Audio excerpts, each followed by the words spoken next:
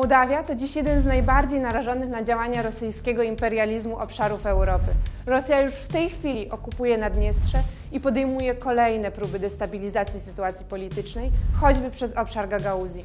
Działania te nasilają się, ilekroć mołdawskie społeczeństwo wyraża swoje coraz silniejsze prozachodnie i prodemokratyczne aspiracje. Mariusz Kamiński, szef MSWiA, poinformował ostatnio o przekazaniu Mołdawii przez sześć wypełnionych samolotów ładunku broni, amunicji i sprzętu ochronnego, który wzmocni pracę tamtejszych funkcjonariuszy. To jednak nie jest koniec działań Polski na rzecz wzmocnienia bezpieczeństwa Mołdawii, bowiem we współpracy z tamtejszymi władzami powstał też szeroki program szkoleń realizowany przez polskich mundurowych. Te działania w połączeniu ze wsparciem, które Polska od ponad roku okazuje Ukrainie, czy propozycją współpracy militarnej z Litwą, pokazują dziejową zmianę, która na naszych oczach zachodzi w polskiej polityce. Dzięki rozsądnej polityce bezpieczeństwa stajemy się krajem będącym już nie tylko biorcą bezpieczeństwa, ale też dawcą, w szczególności wobec państw naszego regionu.